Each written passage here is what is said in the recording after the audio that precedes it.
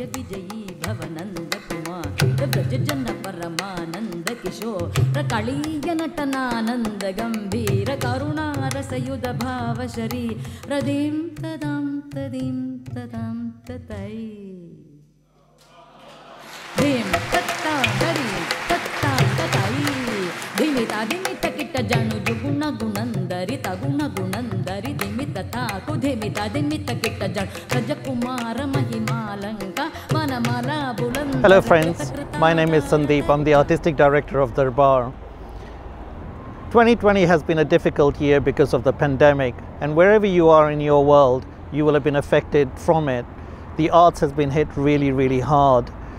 But in our own way, we need to sort of reflect what does the pandemic mean? In my way of thinking, I think it's Mother Earth making us stop to think what is really going on. We've been told by the scientists that we are at a point of no return and we carry on like the way we are with capitalism driving greed and profit, we will lead to our own extinction. But it's not always doom and gloom.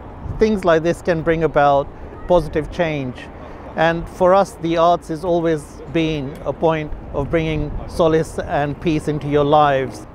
We are at a tipping point, but there is opportunity. In our Sikh tradition, we have the concept of Chardi Kala, which is eternal optimism. And the Darbar team has been working very hard throughout the pandemic to create the Darbar Concert Hall, our own virtual venue where we will be able to bring to you concerts from all our archives into the future, right into your homes and on your mobile devices.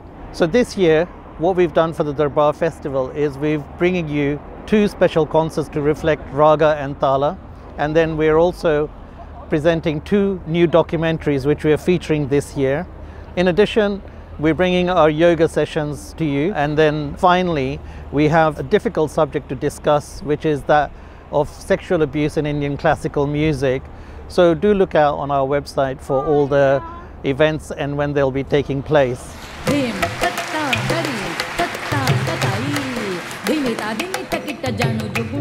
We've been able to dig deep into our archives, and through our archives, we've been able to produce two documentaries which we're featuring this year. One is Bhakti Margi, featuring Pandit Arvind Parikh, and the second one is Churning the Ocean. Churning the Ocean is an extraordinary documentary about the Dagar tradition, and it features Bahauddin Dagar. Over the years, I've got to know him personally, and we've filmed many interviews of him.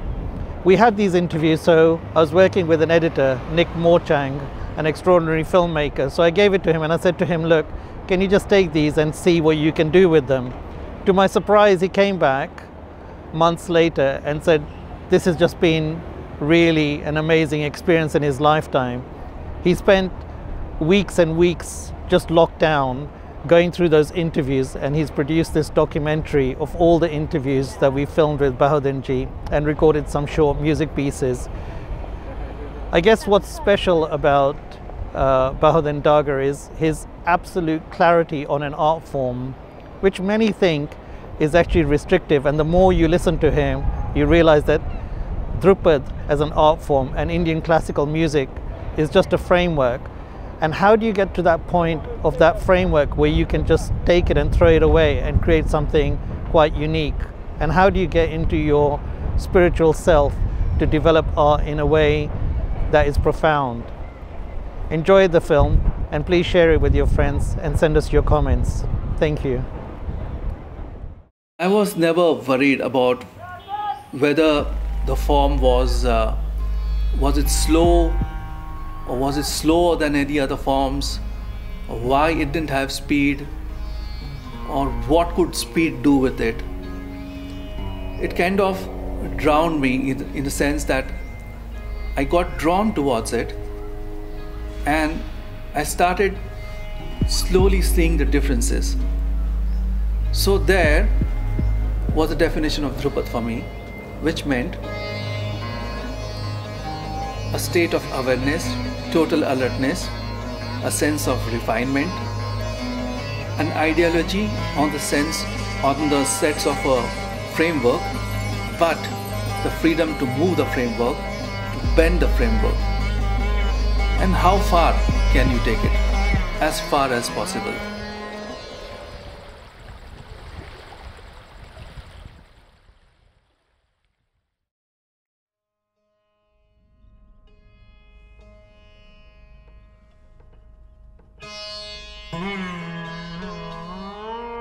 My name is Mohi Bahauddin Dagar, and I play the Rudraveena.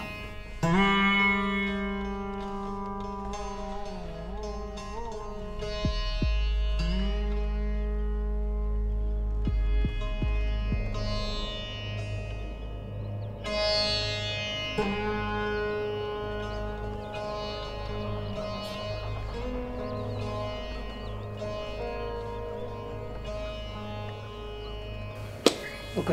second track. Oh, we're doing a instrument or interview? We're doing his instrument. Instrument is here.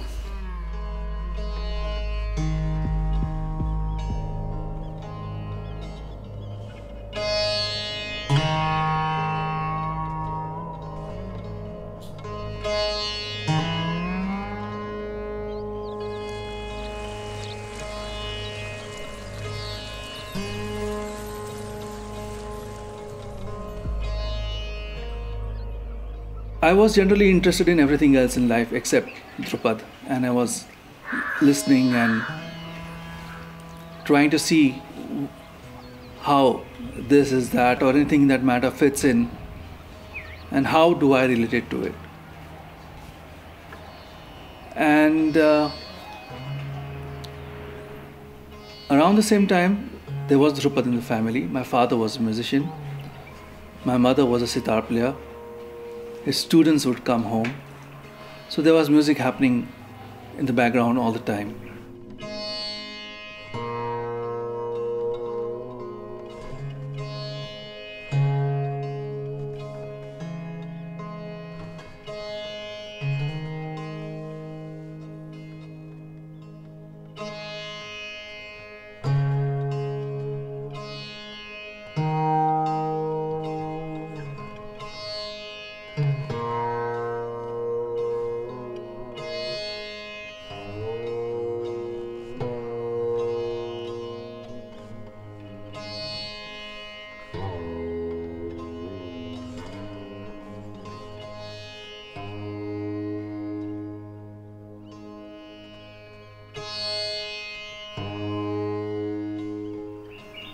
It, it is a very strange journey of why I went into Dhrupad, and I feel there are a lot of lot of factors that went into. First and foremost, I feel it was the food.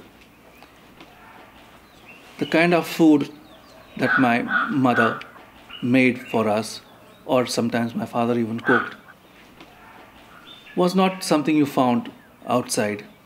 It had some kind of extraordinary taste. It required time to make that kind of a food.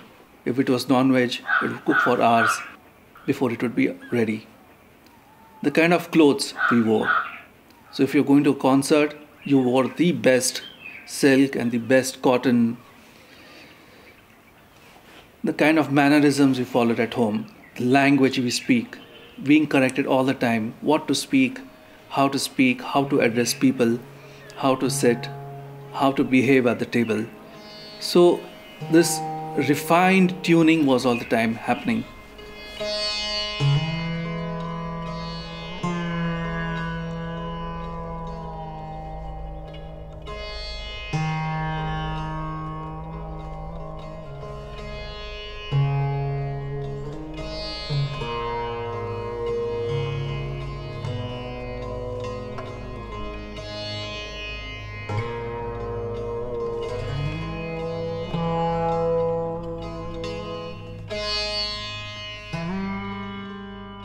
By the time I was 16, this refinedness found a place within me.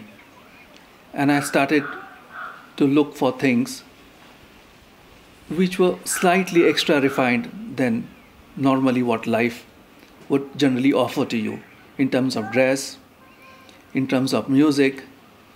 So my search had already begun two years about music, and I started from. Uh, I just started from Shakti, basically, listening to Shakti, and then going on to Mark Knopfler, Dire Straits, going to Pink Floyd, Western classical music, Tappa, Thumri, Ghazal, Begum Akhtar, Khyal. And then when I arrived at Dhrupad,